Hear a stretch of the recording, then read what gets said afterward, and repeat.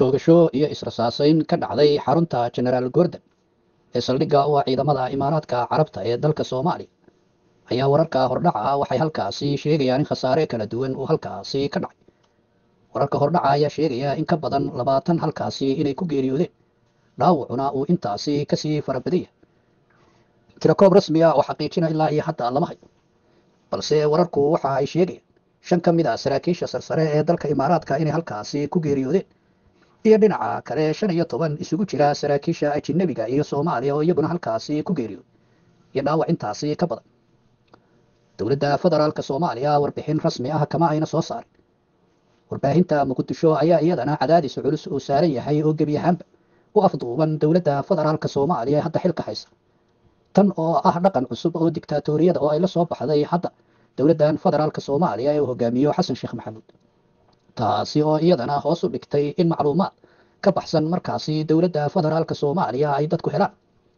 Si kasta ha noqotee dowladda imaaraadka carabta ayaa goordhoweyd xaqiijisay iyadu in saddex ka mid ah saraakiishoodu halkaasi ay ku geeriyoodeen islamarkaasina sarkaal kale oo ka tirsan ciidanka baxrayn isaguna halkaasuu ku geeriyooday. Warkaasi oo kooban ayaa imaaraadku ay ku sheegeen in dhimasho iyo dhaawacba ay jiraan iyagoo u tacsiyeeyey dhammaan saraakiishaasi iyo madaxda halkaasi ku dhaawacantay iyo kuwa ku dhintayba haddaba faahfaahin intaasi ka baxsan ilaa iyo hadda lama hayo balse waxaa la ogyahay halkaasi inay ka dhacday dhimasho culus oo madax fara badan lagu dilay. Islamarkaasina saraakiil kale oo ajinabi iyo soomaaliba ay ku geeriyoodeen. Dhaawac fara badanna uu jiro. Wixii wararaha ee ka soo kordhaa waxaan idinku soo gudbin doonaa wararkeena dambe. Balse arrintan ayaa waxay u muuqataa inay tahay shirqool markaasi dhinacyo fara badan ay iska kaashadeen. Sida ay wararku sheegayaan shirqoolkan waxaa iska kaashaday dhinacyo shisheeye oo aan la magacaabin iyo madax saraakiil iyo askar ka tirsan markaasi soomaaliya si kastaba ha noqotee dhinacyadan ayaa waxaa la sheegay in ujeedadoodu ay tahay laba ujeedo kow midda markaasi shisheeyaha oo ah markaasi in imaaraadka oo halkaasi saldhig weyn ku leh amase xiriir dhow lale dowladda soomaaliya gebi ahaanba qorshahaasi la curyaamiyo amase xakad la geliyo. Ama meeshaba laga saaro si markaasi imaaraadka halkaasi ay uga dhammaato oo ay u bedelaan xoogaga shisheeye ee markaasi loolanka ku jira iyo dhinaca kale oo la sheegayo inay saameyn ku leedahay arrintaa ku saabsan khilaaf ka jiri isla dhinaca saraakiisha iyo madaxda soomaaliya iyo imaaraadka. Oo qaar madaxda soomaaliya ka tirsan ay markaani rabeen iyagu in la hoosgeeyo hogaanka maamulka iyo dhaqaalaha ciidamada dalka imaaraadka iyadoo imaaraadku taasi horey ay u diideen. Ayna ka mid ahayd heshiiskii ay la galeen dowladda soomaaliya in ciidankooda iyo maamulka iyo guud ahaanba iyagu toos ay u hoos tagaan haddaba arrintaani iyo khilaafyadaasi kala duwan ayaa loo aaneynayaa inay markaasi fududaysay shirqoollada halkaasi ka dhacay oo dhinacyo badan markaasi loo aaneyn karo. Warar hordhaca ayaa kooxaha argagixisadu ay ku sheegteen in falkan iyagu ay ka dambeeyeen balse lama xaqiijin karo taasi waxaase haddana iyaguna jira waqti xaadirkan loolan adag oo ay markaasi wajahayso dowladda imaaraadka carabtu. Dowlado badan ayaa u hanqaltaagaya hadda imaaraadka inay meesha ka riixdaan islamarkaasina iyagoo ay noqdaan saaxiibka koowaad ee soomaaliya dhowaan ayaa waxaa dhacay heshiisi turkiga ay ku kala seexdeen soomaaliya oo la sheegay inuu yahay heshiisi difaacu xasaasi. Taasi oo markaani iyaduna saameyn ku yeelan doontaa xidhiirka imaaraadka iyo soomaaliya waxaa kale oo iyadana jirtay in soomaaliya ay quudareynaysay dhinacaas iyo qatar iyadana inay xidhiir cusub la furto. Iyo dhinaca kale soomaaliya oo kadib markii khilaafku uu dhex maray iyada iyo etoobiya haddana hogaanka soomaaliya xasan sheekh maxamuud uu kaalmo u raadsaday dhinacaas iyo dalka masar oo iyadana ay jirtay ballanqaada masar inay noqon doonto saaxiibka koowaad ee soomaaliya waxaana xusid mudan dhacdadaanina inay ku soo beegantay iyadoo berri uu ku soo beegnaa caasimada soomaaliya ee muqdisho. Madaxweynaha dalka masar cabdilfataax al siisi oo markaasi u soo qaatay xamaanta iyo alaabta inuu isaguna heshiiskaasi sii dhaqan geliyo. Balse dhacdadan ayaa iyaduna ku soo beegantay markaasi booqashadaasi madaxweynaha oo ahayd mid hore looga taxadiray wafti hordhaca ayaa muqdisho yimid oo amniga qaabilsan madaxweynaha waxaana qorshuhu ahaa madaxweynaha iyo ciidanka masar inaan waxba u dhaxayn islamarkaasina guud ahaan ciidamada soomaaliya iyo ajinabigaba laga fogeeyo goobaha madaxweynaha markaasi uu mari doono ama ku soo degi doono. Lama ogaa dhacdadan inay wax ka bedeli doonto qorshihii hore ee ahaa madaxweynaha masar inuu berri ka soo dego caasimada soomaaliya balse masar ayaa markaana ka go-an tahay iyaduna inay markaasi xidhiir cusub la furto soomaaliya iyadoo taasi ka dhiganaysa fursad istaraatiiji ah oo markaasi ay ku wajihi karto dowladda etoobiya oo khilaaf uu ka dhexeeyo dhammaan dhinacyadan kala duwan ee tartanka ku jira iyo dowladda soomaaliya oo hadda u muuqataa hasha labada geel jecel dhinac kastana rabtaa inay xidhiir gaara la furato amase saaxiibka koowaad ka dhigaan amase ay dhabarka ka taabtaan ayaa waxaa u muuqataa in mushkiladaheeda iyo dhibaatooyinkeedaba ay keeni doonto ayna dhadhamin doonto dowladda soomaaliya siyaasadahaasi guracanay iska soo horjeeda sababta oo ah intaasoo xoog ayaanay suurtagal ahayn inay ku heshiiyaan amase noqdaan saaxiibka koowaad ee soomaaliya balse waa inay qaar ka mid ahi noqdaan qaar kalena ay bannaanka joogaan oo markaasi ay noqdaan cadowga soomaaliya qaar kalena ay iska ogolaadaan darajooyinka labaad iyo saddexaad. Laakiin marna suurtagal ma aha sida damaca waalida ah ee soomaaliya in intaasoo dowladood ay isku hayso oo iyagoo raalli isku ay noqdaan saaxiibada koowaad ee soomaaliya gaar ahaan masar iyo imaaraadka carabta iyo turkiga. Ruushka iyo dowladaha reer galbeedka iyo jaynaha intaasi inay markaasi ku heshiiyaan soomaaliya iyagoo caalamkaba ku soo heshiin waay ayna wada noqdaan saaxiibka koowaad ee soomaaliya marna suurtagal kama aha siyaasadda caalamka qaabka ay u shaqayso balse waxay u muuqataa siyaasadda hadda kooxda talada soomaaliya haysa inayba u arkaan siyaasad saxan oo ay ku magacaabeen. Soomaali heshiisa dunidana la heshiisa. Waaba soomaali iyadu siyaasad dunida ay kula wada heshiinayso oo saaxiib ay ugu wada yihiin samaynaysa balse la arki doonee taasi qaabka ay u shaqayso iyo dhibaatooyinka ka dhalan doona labadaba. Haddaba dhibaatadani dhacday ayaa laakiin lug ku yeelanaysaa hadda dhaqdhaqaaqyada socda oo dhinacay ka tahay dowladda soomaaliya oo intaasoo saaxiib rabta inay isugu keento muqdisho. Oo hadda loo arki karo markaasi dhacdadan aad iyo aad la yaabka u leh qaabka ay u dhacday iyadoo caasimadda ammaankeeda la adkeeyey jidadka la sii xiray waxaa kaloo muujinaysaa tayaxumada markaasi laamaha ammaanka oo horeba loo sheegay arrintooda inayna dhaafsiisnayn abuurinta warbaahinta iyo shacabka soomaaliyeed balse aynu ogaan karin shirqoollo adadag oo dalkaani loo maleegay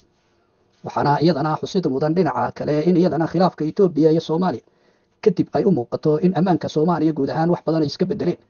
sababta oo ah sida dowladaha ay sheegeen waaweyn waxaa muuqataa intaasi lafteedu ay keeni doonto firaaq amni oo dhaca maadaama labadan dal iskaashigooda uu aasaas u ahaa inay iska kaashadaan khataro waaweyn oo ay ka hortegi karaan inta aanay dhicin. Balse hadda waxayba u muuqataa inba ay noqon karto soomaaliya inay taasi u noqoto oo hadda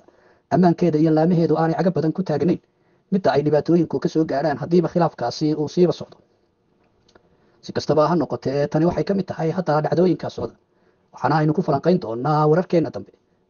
balse dhinaca kale iyadana waxaa wararkeenna ka mid ah in dhowaan uu dhici doono kulankii midooda afrika kaasi oo dhammaan xubnaha midooda afrika ay ka soo qeyb geli doonaan. Islamarkaasina kulankani uu yahay mid xasaasi ah oo dowlado kale oo caalami ah amase quwadaha waaweyn ay qeyb ka noqon doonaan. Afrika ayaa iyadana isbedelo badan oo ka dhacay hadda lafteeda saameyn culus yeelatay. Waxa ayna rabaan inay siyaasad afrika oo xoog badan ku hogaamiyaan guud ahaan qaaradda afrika. Fikradan oo hadda ay wadato dowladda etoobiya nigeria iyo koonfur africa ayaa waxaa loogu ololeynayaa inay saameynta afrika ay gaadho inay xubin rasmi ah ku yeelato qaramada midoobey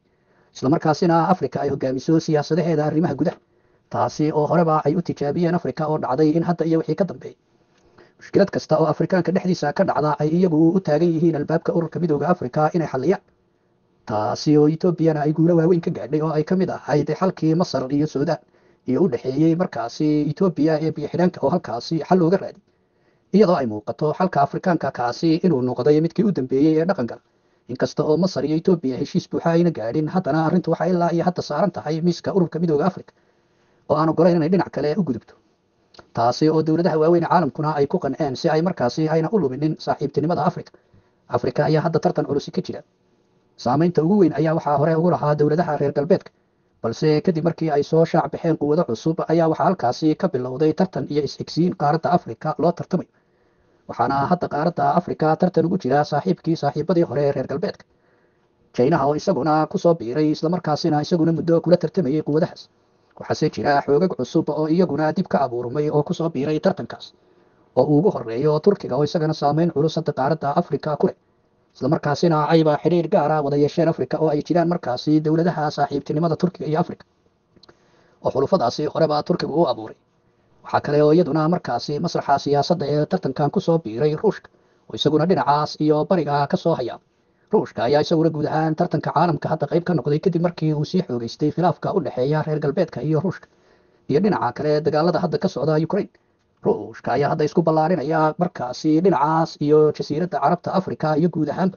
Caalamka iyagoo saldhigyo cusub iyo markaasi isbahaysi cusub markaasi rabaa inay ka fuliyaan guud ahaan caalamka si ay ugula tartamaan dowladaha reer galbeedka waxaana dhinaca kale ruushka ay isbarkan yihiin dowlado awood badan oo iyagana tartankaani qayb ka sida dalalka eeraan kuuriya iyo dowlado kale. Haddaba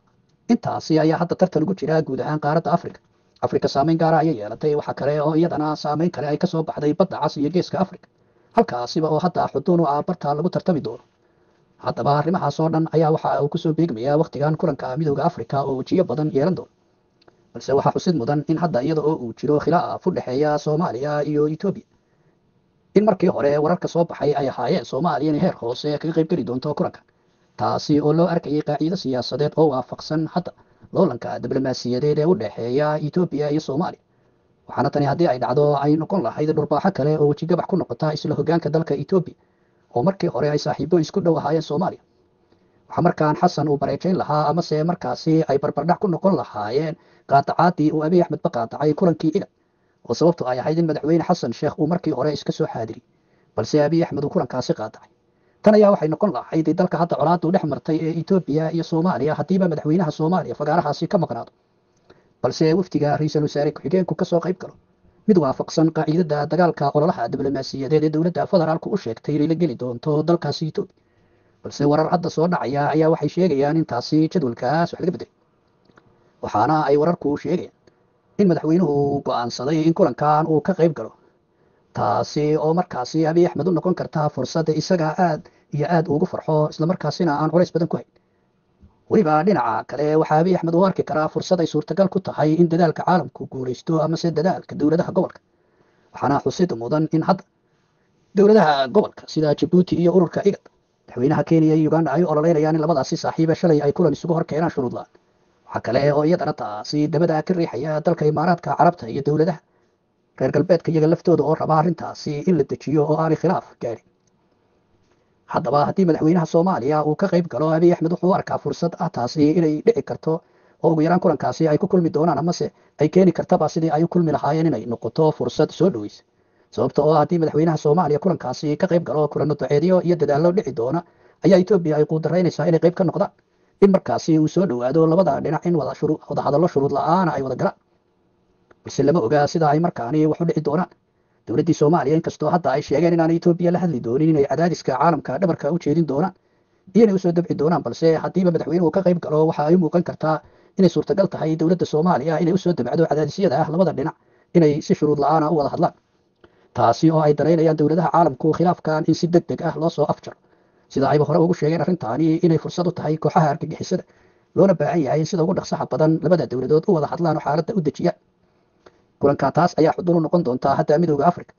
balse soomaaliya lama ogaa go'aanada ay qaadan doonto. Etoobiya ayaa iyaduse dhinaca kale hadda aad isu dabcisay gebi ahaanna wax ka bedeshay qaabkii hore ee heshiiska ay ula galeen somalilan islamarkaasina bilaabay qorshe cusub oo heshiiska ay ku fasirayaan iyo in iyagu diyaar u yihiin goob kasta iyo meel kastaba inay madaxda soomaaliya kula heshiiyaan sida uu ra'iisul wasaaraha etoobiya dhowaan ka sheegay kulankii baarlamaanka oo uu yidhi marna ma ogolaan doono in xidhiidhka labada dal ee walaalihii uu xumaado. Uuna u sheegay inay jiraan kooxo rabaa inay ka faa'iidaystaan balse aan fursaddaasi la siin doonin. Dhinaca kale waaba ay muuqataa dowlado danaynaya arrintaani xalkeedu inuu fogaado si ay fursadahooda u helaan. Masar ayaa iyadu waxay danaynaysaa xaaladdan inay cirka isku shareerto oo ay fursad u helaan markaasi khilaafkoodii ay markaasi etoobiya culays ugu saaraan amase helaan markaasi saldhig istaraatiiji ah oo etoobiya ay ku wajahaan. Taasi oo masar ay horeba u raadinaysay inay helaan meelo amase saldhigyo ay ka soo degaan geeska africa si ay toos ugu wajahaan dowladda etoobiya oo ay ka tirsanayaan markaasi in ay webiga iyo gebi ahaanba qarannimada masar halis ku yihiin. Dhinaca kale turkiga laftiisa oo hadda rabaa loolanka badda cas ayaa isaga laftiisu jeclaan lahaa in xaaladdu ay sii fogaato si markaasi ay difaac ugu noqdaan. Soomaaliya iyagana ay fursad ugu helaan inay badda cas guud ahaanba soo degaan oo ay noqdaan quwad weyn oo caalami ah oo ka mid a quwadaha caalamiga ee hadda badda cas loolanku kaga dhexeeya si kasta ha noqotee dhinacyada ayaa waxaad moodaa in qaarkood ay rabaan xiisaddan in la dejiyo oo labada dhinac qaabkii hore wada shaqeeyaan iyo kuwo kaleba oo aan danaynaynin oo iyagu rabaa xaaladdaani inay faraha ka sii baxdo kadibna ay helaan fursado siyaasadeed oo ay ku fushadaan barnaamijyada iyagu ay leeyihiin. Balse turkiga ayaa mar walba isagoo ah saaxiib dhab ah oo soomaaliya ay leedahay. Waxaana suuragala haddii siyaasadda turkiga soomaaliya ka faa'iidaysato inay wax badan ay ka faa'iidi karaan waase haddii bishardi markaasi dowladda soomaaliya ay diyaar u tahay markaan inay saaxiibkooda koowaad ka dhigtaan turkiga oo gebi ahaanba ay iska fogeeyaan saaxiibada dhinacyada kale ee imaaraadka ugu horreeya